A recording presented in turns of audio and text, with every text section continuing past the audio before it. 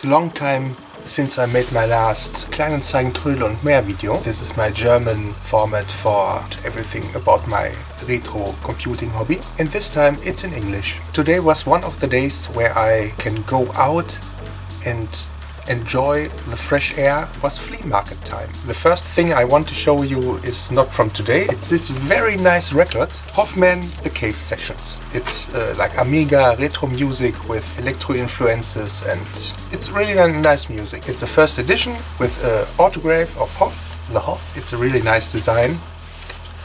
And I got the number 222 of 250 and it's long gone.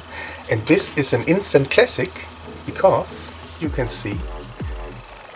Retro Man Cave. This is before the renaming to RMC The Cave. Great. Oh, I love this music. And I love this record. I just wanted to show it to you because I'm proud of it. And now let's go to the haul from today. Basically I bought three things. Not three things, but from th three sellers, different parts. I would call it the 8 euro buy, then the 10 euro buy and the 20 euro buy. Three things. First, let's start with the 8 euro buy. The stand was basically only just boxes with stuff and old graphics cards and on top and but they were all broken and coolers and some laptops, but they don't were interesting. I go through the crates and I found this uh, nice pack of RAM. It seems to be 72 pin RAM. Here is one one gigabyte DDR2, I think. Then I got this funky sound card. It's a Nightingale Pro 6. Nothing, nothing special, but I like those dark sound cards with the golden contacts. It's PCI and it's before they got the colored outputs. For the collection I will stick it between the Sound Blaster Lives and nobody will notice it except of me. It looks like a copy of a Sound Blaster Live even with the gold writing on top. Do I have a Sound Blaster Live? Yes, of course I have a Sound Blaster Live. You can see a Sound Blaster Live and this card. They look pretty similar with the golden writing on the Sound Blaster and the golden writing on the Nightingale Pro 6. You see those things? I print them on my 3D printer. They are very nice because you can put them on the cards down here. They are small stands. And you can stand the cards upright in your collection. They are really fast to print. I will link them in the description. It's from Thingiverse. It's really good. Then we come, come to the last part of the 8 euro haul. Here it is. It's a turbine cooler. I saw the cooler and then I saw this. There's still a CPU below there. I haven't even looked what it is because it's stuck to the cooler. Okay. It looks like, what is it? Pentium 4? Oh, wow. It's a Intel Celeron D 2.8 gigahertz. Nice. Let's put it here. Uh, forget about it. At least a nice cooler. I've designed and 3D printed those nice holders for the 72 pin RAM. You can find it on my Thingiverse. I will link it in the description. Let's see if we can fit the new RAM into this pretty sweet holder.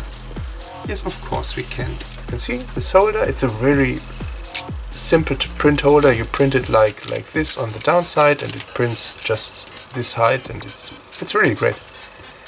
You can see it fits. I have designed it uh, so you can you can see there's a little bit space between those RAMs, but you can fit the thickest RAM modules directly next to each other. For those larger modules like DDR and so on, I have a separate holder. It's already RAM like this. I just can put it here. And it's done. This is the original. You can find it on Thingiverse. I will link it in the description. And I made my own ones. I shrunk them down and made the space a little bit more fitting for the old RAM modules. I also made uh, the holders for 30 pin ZIPs. The laptop RAM holder is not from me, this is from somebody else, I will link it in the description. But for this laptop RAM holder I made little inserts, you can see them like here. They will adapt those 30 pin, uh, is it 30, 30 pin? DDM modules. The smaller old RAM modules, they don't fit in this holder. But with my adapter, you can fit them in the holder. It's really nice. I really like it. It's everything in the description, you will find it. I don't have a lot of this. This is like special RAM for Amigas and AST computers and Apple, I, I think. They are a little bit, you see, the 30 pin doesn't fit in this. The 72 pin doesn't fit in this. They are in between. You also will find this in the description. And if you really like them, you can give them a thumbs up or uh, a star or whatever it is called. I, I, I, will, I will appreciate it. I like it when people like the stuff I make. Now we see everything that I got for 20 euros. It was a stand with boxes again and the pricing was you take something and it's 1 euro. Let's go from top to bottom. This is a 10 a 20 pack of three and a half inch floppy disks. I haven't even looked in it. If there, yes, there are floppies inside. It's always nice to have new floppies. The case doesn't matter, but there are floppies inside. Fresh, new, formatted floppies. Here we have another pack of 20 fresh formatted floppies. This was interesting. This is a floppy case in blue transparent, but it's no floppies inside, it's a LCD cleaning kit is inside. What is a LCD cleaning kit you ask? I don't know it either. Let's open the thing up. Let's have a look inside. What is it? Ah, wet wipes, dry wipes, some cleaning spray and like a paper towel. Oh nice. The blue cleaning case. Then we have this silent LED fan in 80 by 80 by 25 millimeters. If I build a PC from the 2000s, it's always nice to have some new, basically sealed, I've opened it, but new parts you can put in the PC. I, uh, I like it. Then we have another box of 20 floppies. Oh, I like sealed and packaged things. This is a PS2 mouse and uh, keyboard converter to USB. It's always nice to have converters and things like that. I like those things. As I said, I like it when it looks like a computer store. Then we have this. This is just an extension cable for PS2. Ah, then uh, 100 CD and DVD paper sleeves. These are only those white paper things because I have a ton of loose CDs and I don't want to put them in cases. So it's nice to have those uh, DVD paper sleeves. Ah, here's another one of those PS2 extension cables. Ah, then we have another PS2 extension cable. USB printer adapter cable from the Centronics connector to USB. Nice for old printers when you don't have a parallel port. Here's another one of those USB to PS2, another Centronics to USB adapter. Here we have uh, a PS2 to USB in a different form factor. Another one of those, but it's already... No, I don't think somebody has opened it. It looks more like it's broken from the transport doesn't matter. So you can see it. It's simple USB to PS2. And the original price is 13 euros. Or was 13 euros, probably 15 years ago. A third one of those adapters. Then this new in-box uh, Molex to SATA adapter cable. Just a Molex splitter from Molex to double Molex. Here's another one of those PS2 to USB converters. Then I got this. This is a notebook PCMCIA USB 2.0 card. It's Windows Vista compatible. Wow. Then we have another extension cable. PS2. This super yellow a notebook USB spot. This is just a light on a USB plug. Then here's another box of floppies. 20 and here are two PS2, two DIN adapters. Ah, before I forget it, this thing was also in the box. This is an Ethernet card, 10100. It's a Realtek also in this nice 20 euro pack. And now we come to the 10 euro haul. Every mainboard 2 euros. So we have this nice Elitegroup.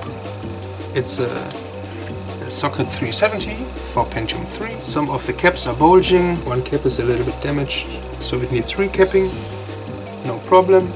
Has AGP, PCI, a strange CNR integrated sound. Which integrated sound do we have?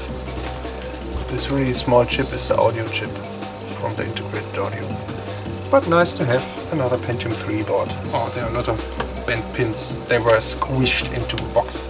Then I got this mainboard just because there's an AMD Duron uh, 1600 on the board. So it's nothing really special.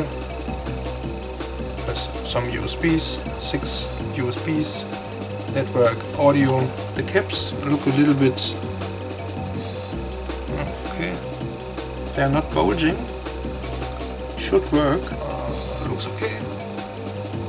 Looks really okay. No no broken pins or something like this. It's a ASRock K7VT4A Pro with AGP X8. 8X. You can see it here. It's a pretty compact but really short. Then I got this board for 2 euros. It's I think it was a 286. The processor is sadly missing but there are nice uh, UV erasable PROMs here. Here's another one, here's Intel. The Intel one, here a lot of nice chips. Here's even some uh, memory chips, I can recycle them. I think this is more like for recycling. Here crystals are always nice to have. This plug is really cool, a 5 pin DIN plug. Is this a battery? Ah, it has started leaking. I always have some white vinegar. There's some bubbling around the contacts, but not a lot. It's. Some alcohol for the washing. Just a quick scrub with the old toothbrush.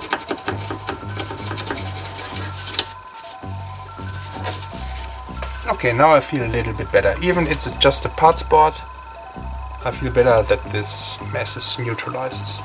Then I got this board. This is also, here's a 286 processor. I just got, here you see, the battery has leaked big time. Really ugly. Disgusting batteries. Put some towels here paper towels and this slide. it has leaked a little bit in this corner. Again a little bit alcohol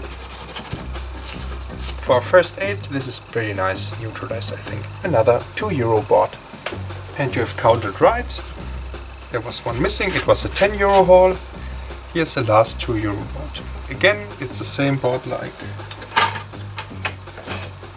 it's the same board like this and all the chips are missing. It's pretty sad. I just wanted the 286 for 2 euros and some parts. Let's detach the battery. Okay, this is a little bit worse. Again, some white vinegar for neutralization. Ah, you can really nice see the bubbling there. Okay, see the bubbling here? This is where the vinegar is reacting with the acid of the leaked battery and you can really see it's bubbling everywhere. Take another small drip of our nice vinegar.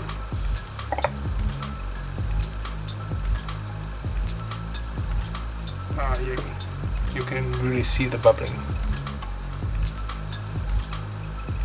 I think the acid is gone under the, the mask, the silk screen. I will just scratch the surface, surface a little bit. Oh, you can see the bubbles.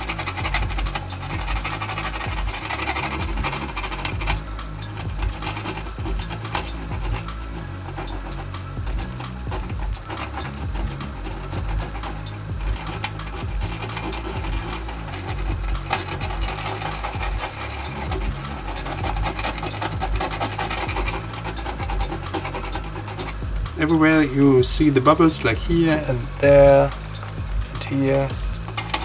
There's everywhere is this acid.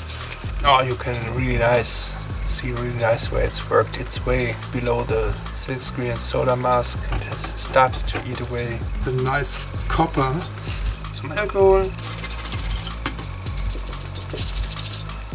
This was everything for today. I hope you enjoyed it a little bit.